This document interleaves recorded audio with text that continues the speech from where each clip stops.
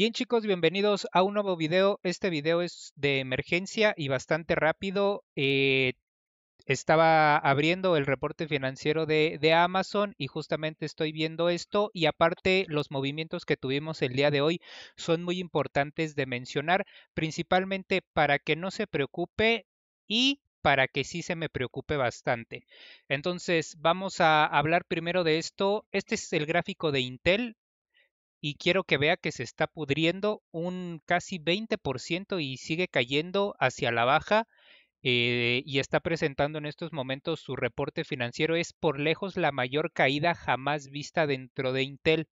Y le estoy mostrando esto porque yo le vengo repitiendo desde hace tiempo, no es para adornarme esto que le voy a decir, pero le vengo repitiendo desde hace tiempo que Intel y todas las empresas de semiconductores, la mayoría eran malas empresas, tenían malos números y la gente estaba entrando de forma desesperada por el tema de la inteligencia artificial. Y aquí quiero mostrarle unos números para que usted los vea. Eh, esto lo hago porque un suscriptor me compartió que en otros canales, los que sean, no importa, otros canales estaban incentivando mucho la compra de Intel porque decían que la empresa tenía mucho dinero y todo ese tema. Bueno, aquí vamos a ocupar una de las herramientas que nos da TradingView porque ahorita vamos a pasar a lo que sigue, que es bastante Primero vamos a la tormenta y luego a la calma. Nos vamos a ir aquí a Statements y nos vamos a ir al apartado de Balance Sheet. Aquí le tengo que hacer una advertencia antes de continuar y este, los datos, la mayoría de los datos que tiene TradingView están mal. Así que nosotros tendríamos que dirigirnos aquí a la página oficial de la SEC donde nosotros vamos a tener los datos correctamente. Bien, pero estos datos de la forma visual en que se muestran en TradingView nos van a servir ahorita por métodos pedagógicos, nada más. Pero es importante que nunca nos fiemos de estos datos porque también es un servicio gratuito y al ser un servicio gratuito, pues a veces sí es de mala calidad. Bien, entonces lo que nosotros vamos a hacer es irnos al total de deuda que tenemos aquí y después nos vamos a ir al apartado de Income Statement y nos vamos a ir a Net Income. Déjeme, lo busco, aquí está. Entonces, como puede ver, aquí de forma visual, ustedes pueden ver que la deuda a los ingresos netos que tenemos de la empresa, la deuda cada vez es mayor. De hecho, con el paso del tiempo, cada vez los ingresos empezaron a ser menores y la deuda se empezó a levantar. ¿Qué le quiero decir con este eh, esta forma bastante pedagógica, sin meterme mucho en el tema de contabilidad para que se vuelva fácil de entender, es de que haciendo la cuenta, Intel en estos momentos requeriría casi de 57 años para poder pagar su deuda. Si es que sigue manteniéndose con estos bajos ingresos que tiene, peor aún si los ingresos comienzan a disminuir. Bien, entonces los movimientos que nosotros empezamos a ver a la baja el día de hoy en muchas empresas es porque tienen muy malos números, pero en el caso de Intel, la empresa, el monstruo que antes fue Intel, se está desapareciendo totalmente.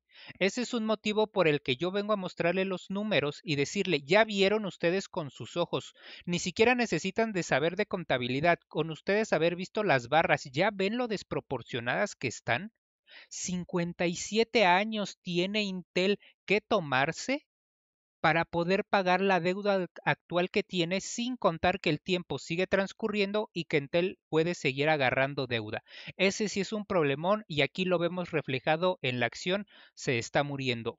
Fuera de Intel, lejísimos de Intel tenemos que estar a menos que revise el reporte más a fondo y les comunique algo diferente.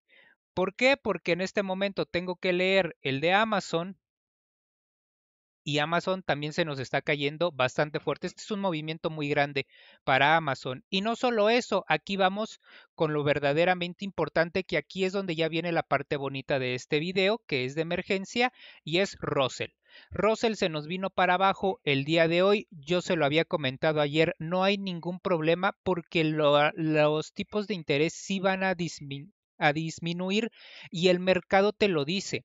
Yo les había compartido el día de ayer esta página que es de CM Group y tenemos el porcentaje. Como pueden ver ayer, el día de hoy tenemos un porcentaje menor de que en agosto, perdón, de que en septiembre los tipos de interés van a disminuir. Ayer estaba por 84, hoy estamos en 78.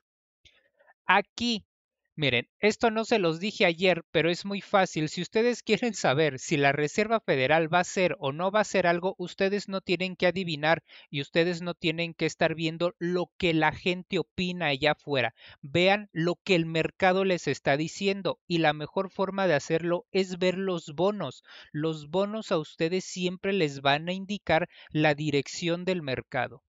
Si nos vamos aquí a ticker symbol ZB, ustedes se podrán dar cuenta que los bonos se están disparando al alza. Si usted no tiene el ticker symbol de los bonos y los quisiera, aquí se lo pongo. Tenemos aquí los T-Bones, que es ZB, que aquí tenemos los futuros, que son los que tenemos los datos de mercado por parte de CBOT. Luego tenemos ZN, que si le damos clic tenemos las notas a 10 años. Bien, Luego tenemos aquí a 20 años, a 10 años, a 5 años y es básicamente eso. Bueno, el tema de que los, bonos estén subiendo nos está diciendo que su rendimiento está bajando, es decir, el dinero que están pagando estos bonos está disminuyendo. Lo vamos a ver ahora en la otra gráfica. Aquí lo tenemos, usted va a colocar en su TradingView US 10Y y usted va a ver cómo es totalmente inversa la gráfica. Quiero que se fije aquí en el apartado lateral que dice porcentaje. Tenemos 3.98 con 2.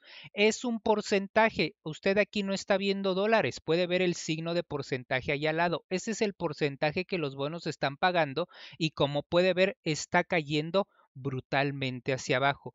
¿Qué quiere decir? Que sí, la Reserva Federal va a bajar los tipos de interés y los bonos ya lo están reflejando. Usted no necesita que alguien se lo adivine, no necesita ver lo que hacen los bonos. Los bonos siempre le van a indicar la dirección del mercado.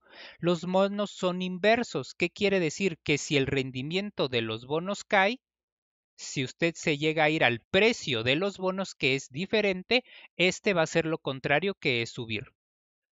En cambio, si nosotros vámonos de nuevo aquí a los bonitos a 10 años, si usted ve que el rendimiento se va para arriba, el precio de los bonos, para que lo entienda bien, va a ser exactamente lo mismo que es irse hacia abajo. Bien, entonces, tanto el precio y su rendimiento son completamente inversos.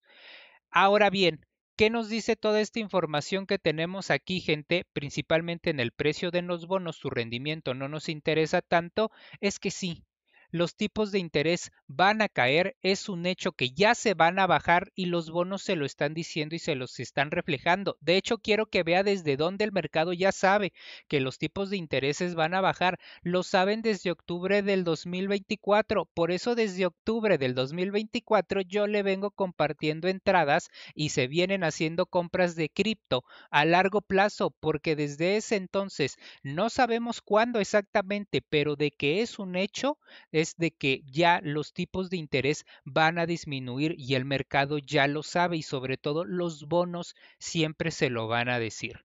Bien, entonces no tenemos nada que preocuparnos. Entonces, gente, me tengo que ir. Muchísimos reportes financieros que, leer.